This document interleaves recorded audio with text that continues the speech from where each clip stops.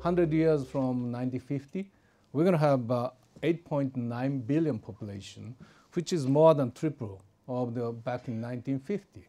So very rapid growth of the population on the global basis. But at the same time, uh, since uh, late 1990s and beyond, population, uh, particularly in uh, matured countries, are aging. So we are facing two problems simultaneously.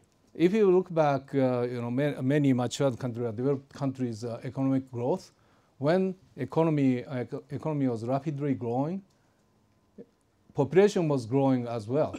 so this population growth and economic growth come hand in hand together in most of the countries.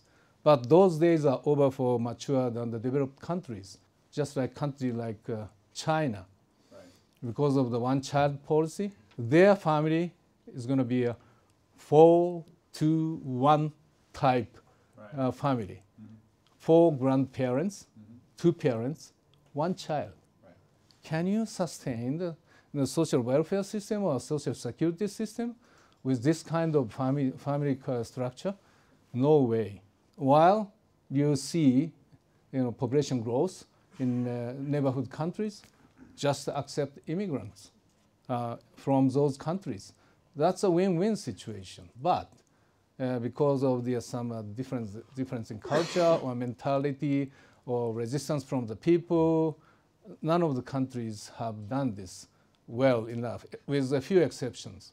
So, what other insights have you developed in trying to solve the problem beyond immigration? They have to be prepared to raise the tax. This countermeasure is not so popular either. People don't appreciate it. You know, extend their re- retirement age.